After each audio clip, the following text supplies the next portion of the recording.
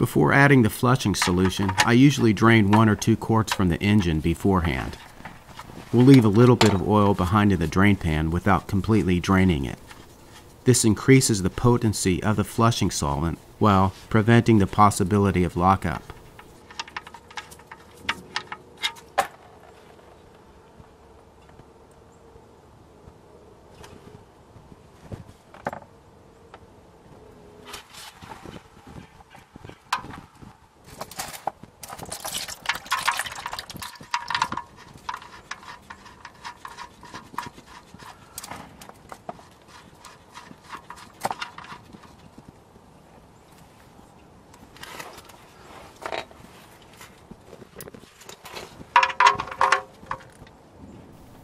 Now let's check the oil level on the dipstick.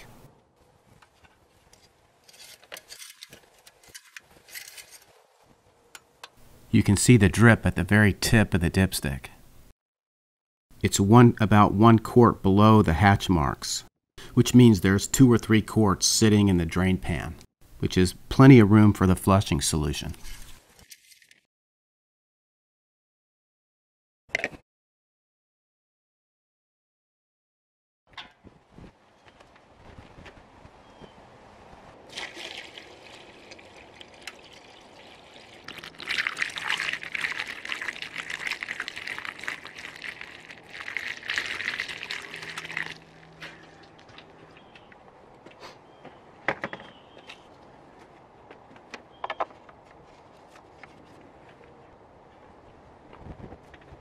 I added about 2 quarts of flush and the oil level on the dipstick is now at the top of the hatch marks.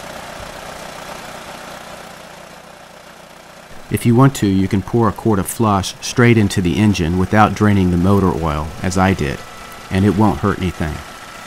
Flushing solutions are low viscosity liquids, so you won't be creating any oil pressure problems as long as you don't get carried away and add too much.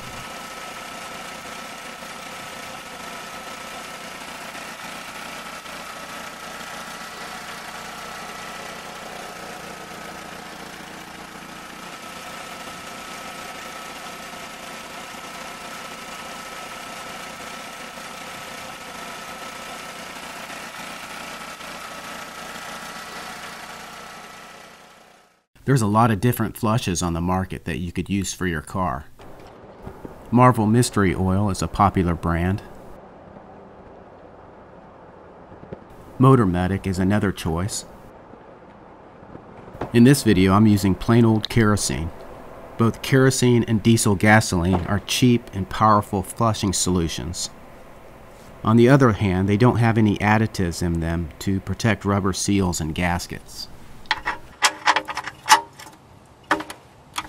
I ran the engine on idle for about 10 minutes, and now I'm draining the oil kerosene mixture out of the system.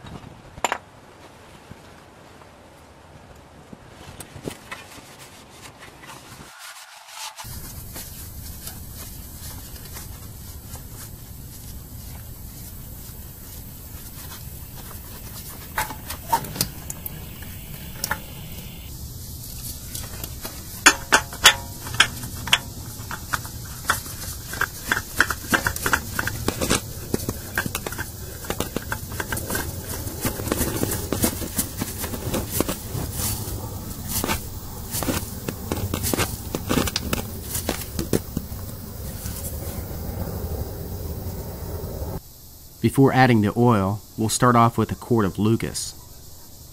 Lucas reduces the blow-by problem that this engine suffers from.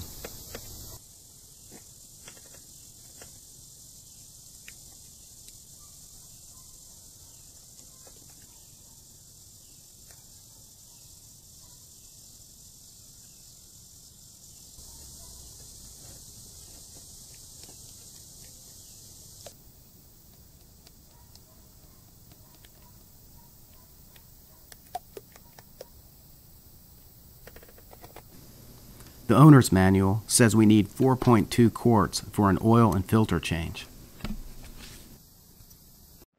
Once you get back on level ground, check the dipstick,